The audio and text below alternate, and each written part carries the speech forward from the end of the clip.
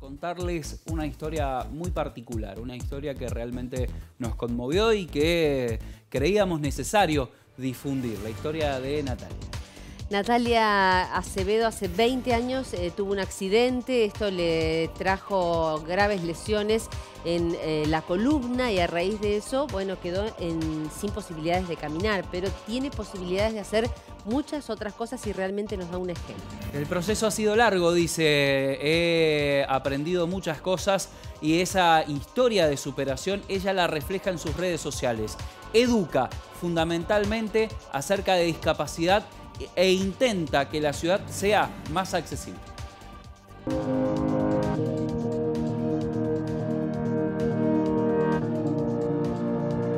Ella es Natalia, tiene 37 años, es analista en sistemas de una startup del sector financiero, vive sola y maneja su propio auto. Si bien a los 16 años, tras un incidente vial no pudo volver a caminar, hoy lleva una vida normal, sale a bailar, se ejercita e incluso llegó a viajar sola por Europa. A los 16 años tuve un accidente en la ruta, en Agua del Toro con mi familia.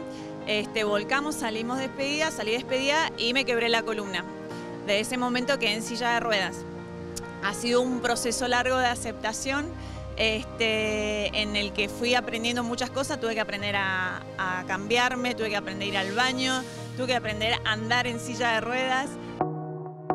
Lejos de paralizarse, Natalia quiso ir más allá y que su historia sirviera para motivar a otras personas con discapacidad, pero además para pensar en una Mendoza más accesible. Lo hace desde sus redes en las que muestra los lugares que necesitan un cambio. Su idea llegó a la legislatura. Les comenté mi idea de trabajar en, la provincia sobre el tema de accesibilidad, me escucharon y empezamos con un proyecto que se llama Puentes de Libertad. ¿Cuál es la idea de este proyecto? Llevar a que todos los empresarios se contagien y adapten los lugares, ir buscando la manera de cómo ayudar a esos empresarios para que lo logren, pero este es el objetivo.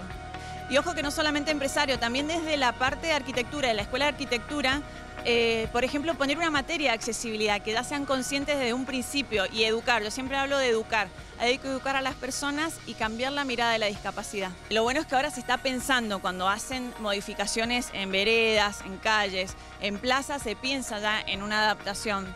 Este, pero todavía falta. Eh, falta también adaptar muchos bares, restaurantes, que es algo que me ha estado pasando muy seguido, ir a un lugar y que no haya baño y tengo que ver si tomo líquido o no tomo líquido, ver de qué manera puedo entrar desarmando la silla. Entonces, no está bueno eso, eh, está bueno que todos seamos libres de ir a cualquier lugar. Esa es la palabra que uso siempre, libres, ser libres. La mayoría de los locales tienen un escaloncito, entonces siempre tengo que salir con alguien o tengo que pedir ayuda para poder ingresar. Recorriendo una de las veredas de la calle Patricia Mendocinas, nos encontramos con ciertos lugares en donde es difícil para vos acceder. Este tiene la rampa, pero no es muy práctica, ¿no podés? No, no podría. Si lo hago sola, caigo de cabeza directamente, porque no tiene el ángulo correspondiente, la medida correspondiente para yo poder hacerlo sola y estas rampitas así o escalones. Estábamos recorriendo todo y como que tienen todos escaloncitos, pero no, acá es imposible. Hay una ley que regula esto, pero no se cumple. No se cumple, sí, habría que ver la manera en que se empiecen a cumplir esta, estas leyes de accesibilidad y que se cumpla con medidas, con las medidas estándar establecidas. Natalia se inspira en lo que pasa en otros países, sobre todo europeos, en donde cualquier persona con cualquier dificultad puede moverse sin límites. La verdad que es otro mundo, este, eh, es perfecto allá. Eh, puedo andar eh, por, en los subte, en colectivos, he podido viajar sola de un país a otro país. Este, es, hermoso como está allá y me encantaría que Mendoza esté, esté igual que, por ejemplo, Barcelona, que es una ciudad súper accesible.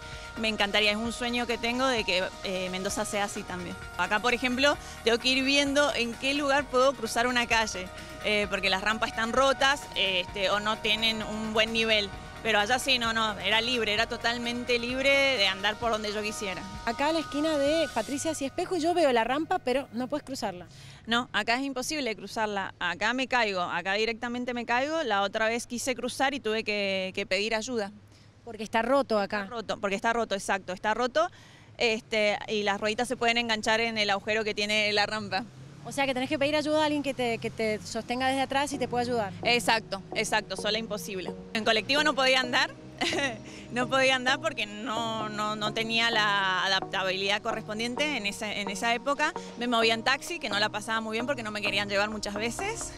Este, así que fue difícil, la verdad que fue difícil porque te encontrás con esas barreras de las personas también. Tener mi auto me cambió la vida, pero hay muchas personas que no pueden tener su auto propia. Así es, sería ideal que los colectivos estuvieran todos accesibles. Plaza Independencia, calle Espejo, y ahí Natalia está tu auto, vas a mostrarnos cómo haces todos los días para subir. Exacto, ahora les muestro cómo me, me subo al auto con la silla. Esta rampa es una de las mejores, me decís contadas, Aide. Sí, contaditas, contadas, ojalá fueran todas las rampitas así, pero bueno, este, sí, son contaditas, no, la mayoría no, no, no, son, no están bien hechas.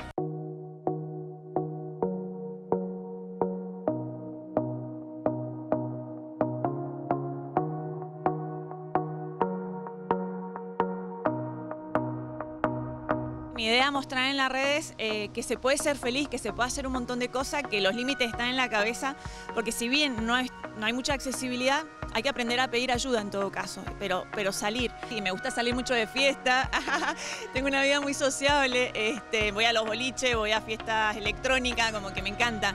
Este, entonces también motivar a las personas, porque yo salgo y no veo a nadie en silla de ruedas, digo, ¿dónde están todos? Si no salimos y, y si no nos mostramos, no se van a hacer las cosas. Yo estoy haciendo eso, salir, mostrar y hacer ruido.